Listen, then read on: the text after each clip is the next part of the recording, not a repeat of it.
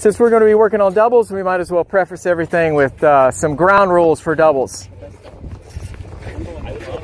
All right, we're going to say Harrison and Rish are serving. I want you guys to get in your positions where you would be returning and serving from.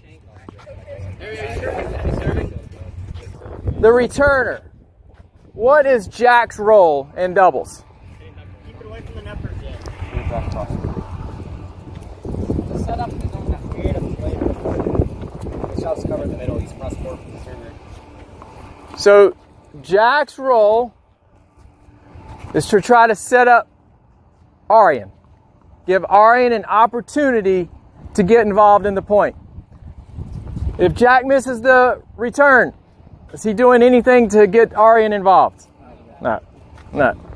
If Jack hits a lob over Rish's head, is he getting Arian involved? Po- possibly. Possibly. All right, what's uh what's Arian's role? Returner's partner.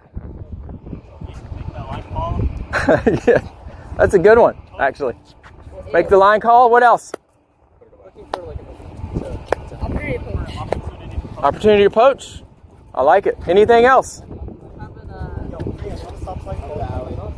Cover the alley. Anything else?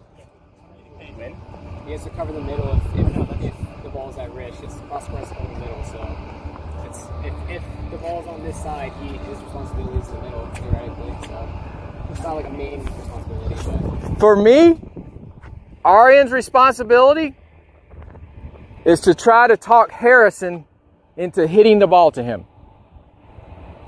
And that's how he can get involved himself. He can he can create an opportunity for himself. If he can talk Harrison into hitting the ball to him, then he gets involved and Jack didn't have to do anything. Arian, what could you do to talk Harrison into hitting you to the ball?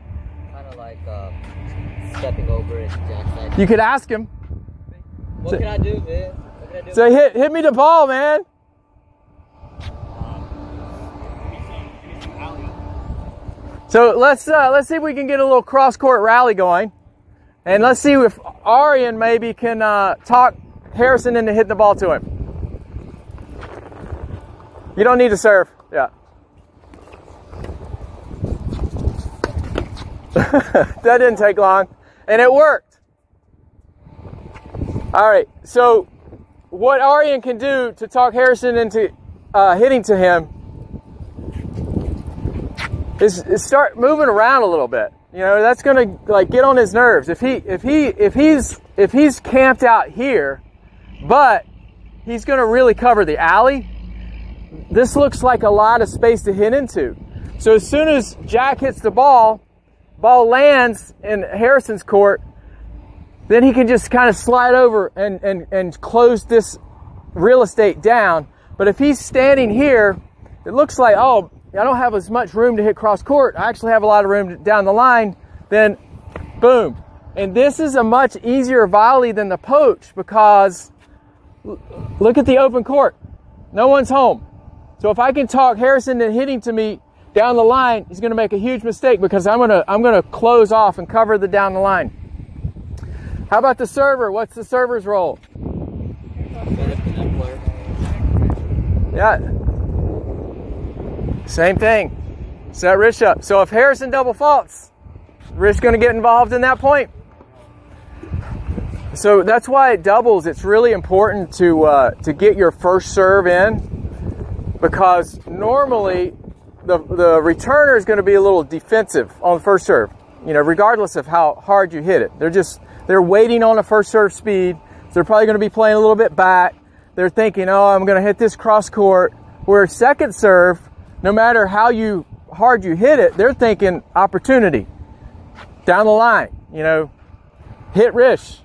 You know, hit uh, short angle cross cross court. So when you guys play uh, some matches today, high first serve percentage. I want to see the net people very active, moving around. See if you can talk the baseline person into into hitting you the ball. If you're the returner, try some different things. Try to take the ball early. Try to you know be close to the baseline. Take time away from the server because you can. I mean, you can hit it in the alley just by blocking the ball. You don't have to have to crush it. The closer you are in, the more angles you have. Try lobbing. You know, lots of different ways to get the point started. But end will never get involved if the point doesn't doesn't start. Any questions, guys?